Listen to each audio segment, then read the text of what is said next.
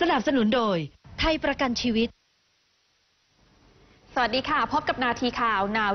26 จากเหตุยิงการภายในพุทธวิชาลัย มหาวิทยาลัยราชพัฒพระนคร จนมีผู้เสียชีวิตสองราย คือ ดรพิชัย ชัยสงคราม และดรนัทพล ชุมวรถายี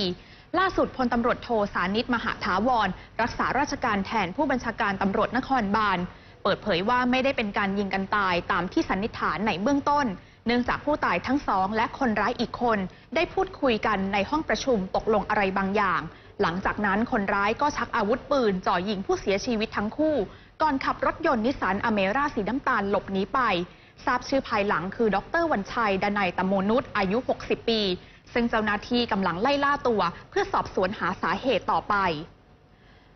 ประธานาธิบดีเอนริเก้เป็นยานีเอโตของเม็กซิโก ประกาศผ่านทวิตเตอร์ ว่าได้ลงนามแผ่นนำร่อง ที่อนุญาตให้คนเพศเดียวกันทั่วเม็กซิโก มีสิทธิ์แต่งงานกันได้โดยไม่ถูกกีดกัน ซึ่งเป็นไปตามเจตจำนงของเขา ที่ต้องการให้เกิดความเท่าเทียมกันในประเทศ ทั้งเรื่องเพศ เชื้อชาติ สถานะทางสังคมหรือศาสนาทั้งนี้แผนดังกล่าวถือเป็นหนึ่งในนโยบายหัวก้าวหน้าในประเทศ ที่ประชาชนส่วนใหญ่มีแนวคิดอนุรักษ์นิยมอย่างเม็กซิโก ติดตามข่าวสาระบันเทิงและวาไรตี้ได้ทางช่องหนาว 26 ค่ะ